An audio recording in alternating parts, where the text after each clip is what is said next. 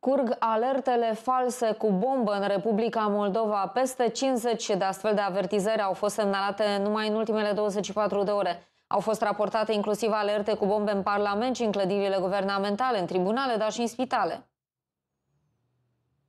Poliția nu știe deocamdată dacă aceste mesaje au fost trimise de aceeași persoană sau de mai multe persoane, iar motivele amenințărilor sunt neclare. Rapoartele din 5 iulie au făcut parte dintr-un val de amenințări cu bombă care a cuprins întreaga Moldova în ultimele zile. În urmă cu două zile, poliția a primit trei amenințări cu privire la bombe plasate pe aeroportul din Chișinău. De tot atâtea ori, aeroportul a fost evacuat și activitatea a fost suspendată. Amenințările au fost verificate de către polițiști și geniști, însă aceștia nu au găsit niciun obiect obiect suspect. Amenințări cu bombă au fost raportate și în capitala Chișinău. Pe 5 iulie, la ora 14 și 50 de minute, Inspectoratul General al Poliției a raportat pe pagina sa de Facebook că la ora 14 și 5 minute poliția a primit un e-mail despre bombe la mai multe instituții de stat, Parlament, Guvern, instanțe, centre comerciale și aeroportul din Chișinău. Departamentul a precizat că poliția a primit mai multe sesizări privind prezența unor bombe la obiective strategice. Aceștia au avertizat că persoana care a sunat ar putea fi sancționată cu amenzi de până la